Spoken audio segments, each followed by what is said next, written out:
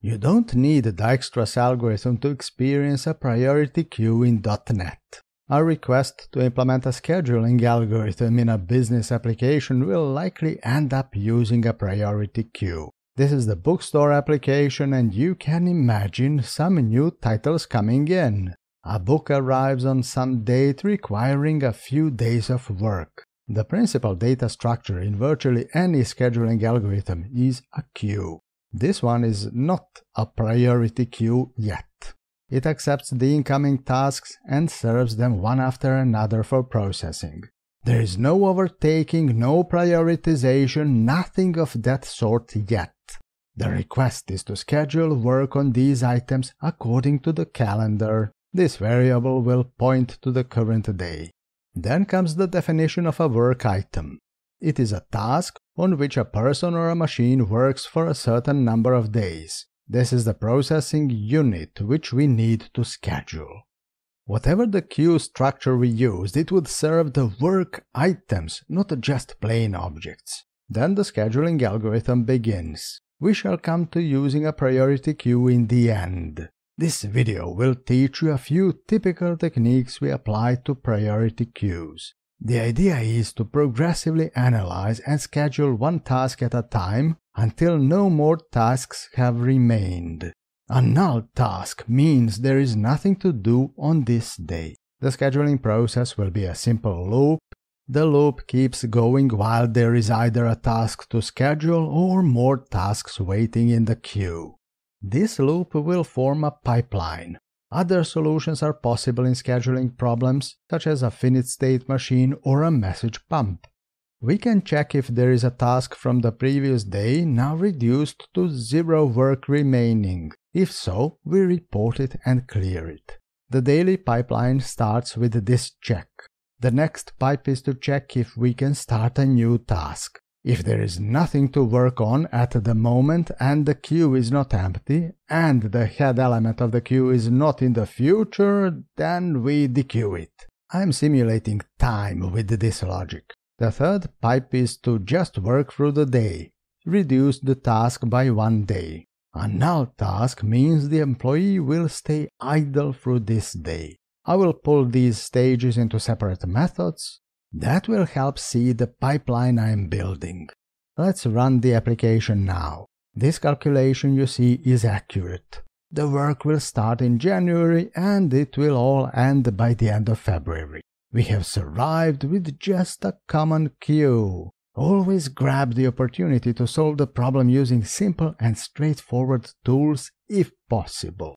Alas, that will rarely be the case in complex applications you will invariably face the request to prioritize tasks. We must schedule tasks with higher priorities sooner. Still, unlike in real life, in programming the highest priority is the one with the smallest numeric value. Sorting the tasks ascending will make those with high priority come out first. I have changed the definition of the incoming tasks to carry the priority supposedly assigned by a manager this begins to look like a real-world problem. I will quickly show you the data. You are seeing that same schedule as before. The problem is now evident. The management has requested some titles ASAP, but they will have to wait for more than a month. The scheduler based on a common queue is not good enough. This queue will only serve the incoming tasks. A real queue from which the scheduler will feed is something else. I will start with a common queue again, but that will change quickly. This is an important lesson in building any scheduler. Separate the scheduler's queue from the incoming data. A new pipe will pour the items over into the work queue. The real change comes next. The scheduler will only use the work queue from now on. The pipeline has just become more general. Dispatch the completed work, accept new items, pick the best one, and work on it through the day. Your pipelines will likely look something like this. Then comes the central point of this demo. The common queue is no good. We need a priority queue so that some work items can advance faster than others. The priority queue generic class was first introduced in .NET 6 and C Sharp 10. Besides the item type, there must also be the priority type. Please note that the priority queue is not sorted. However, the items will come out in the growing order of priorities. Let's see how we are enqueuing new items now. We already have the requested priority for each item. Pass it to the queue along with the item. The queuing remains the same. The only difference between using a priority queue and using a common queue is how the items leave it. The entire processing loop remains the same. It's only that some items would now appear sooner than they used to if they have a higher priority, that is, the lower priority value. Running the application will show the difference. High priority tasks are truly closer to the beginning now. This completes the simplest scheduling loop that takes priorities into account. There is a problem here though. The priority queue class does not guarantee the order of items with the same priority.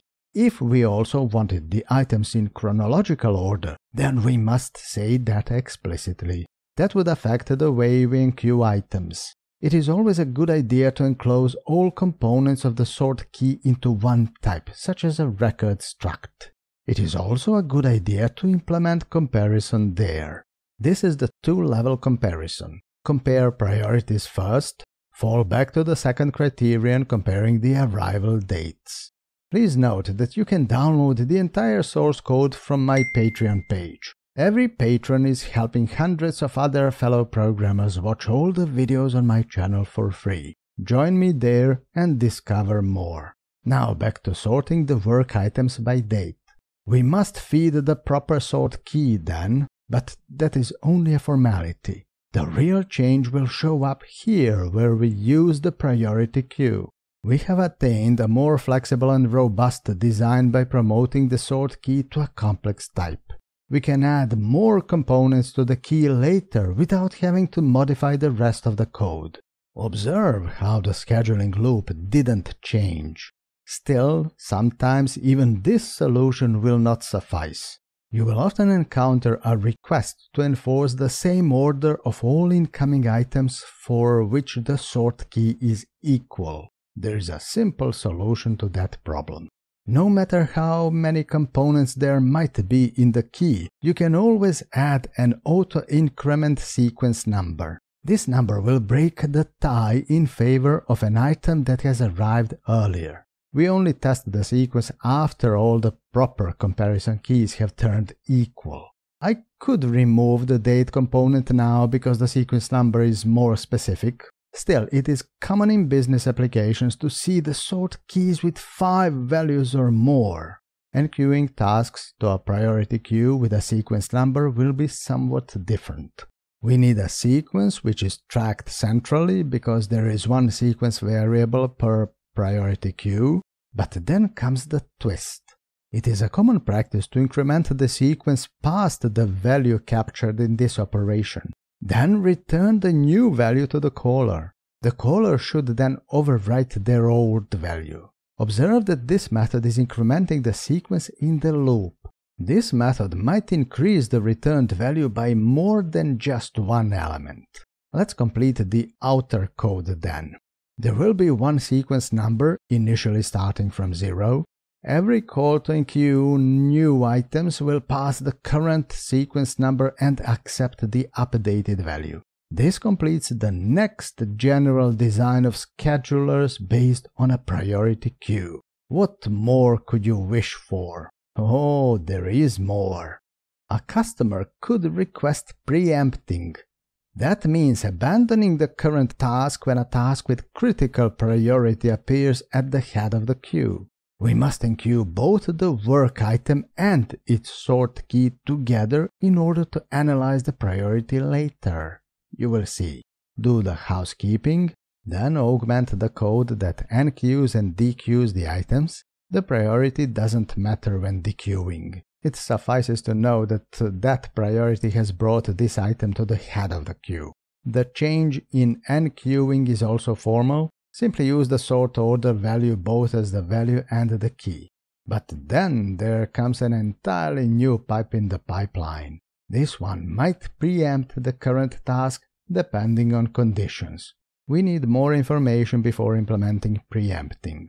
We need the sort order for every work item someone might be working on. Of course, this value would come together with the work item. Then the preempting. The request is to postpone a non-critical task before completion if a critical task is waiting in the queue. Let's start. If there is no task, there is nothing to abandon. If the current task is already critical, nothing can stop it. If the work queue is empty, there is nothing to pick from there. Otherwise, we peek at the head of the queue. If it is not critical, then it is not important. Only after passing all these checks do we know we are working on a non-critical task and there is a critical task in the queue and queue this task back to the queue with its priority. That will put it behind the critical task. Then clear the task so we can accept a new work item. The pipeline will change a little to support preempting. The preempting happens in every iteration before starting the new task. When conditions are met, the current task will go back into the queue and a task with a higher priority will come out instead. This completes the most advanced design of a scheduling algorithm with priorities, sequence order, and preempting. I will run the application one last time. You can see that the critical tasks are now completed early, followed by high priority tasks and eventually the tasks with normal priority. This is the output I would expect from any prioritizing system with preempting. So I have it here, built on top of a .NET Priority Queue. A simple priority queue supports all these features out of the box. You don't have to build custom data structures to implement the algorithms of this sort anymore.